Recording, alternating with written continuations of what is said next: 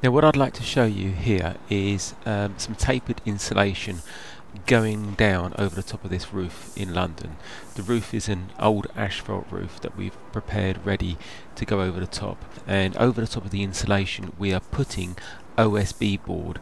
Uh, that's because this roof's going to have some kind of solar panels or something quite heavy put on it. So what I want to show you here is the actual insulation slabs and just show you really how we do this.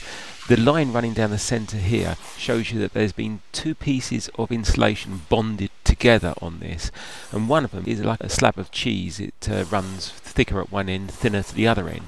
Now we lay these down all over the roof with the fatter end at the top of the roof which is on my right hand side as you can see there and the thinner end at the other end so that we form a fall that falls from the, the top of the roof down to the bottom.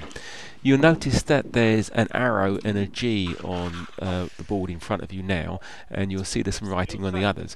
When the system comes, it's already worked out for us so that we know which slab goes where, because the slabs start off fatter and get thinner as we move further down the roof.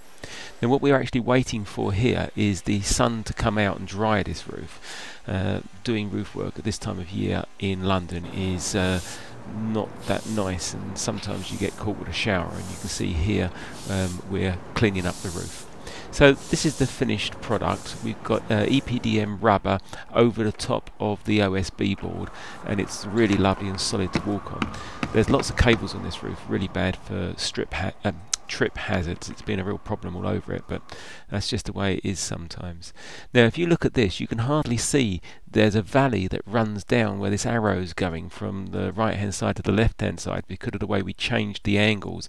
That was all there in the in the insulation um, for us. When we put the insulation down, the valleys were all built in, and we just put the OSB over the top of it. So there's two or three different falls, all making this roof fall to the outlet which is on the left hand side. Thanks for watching.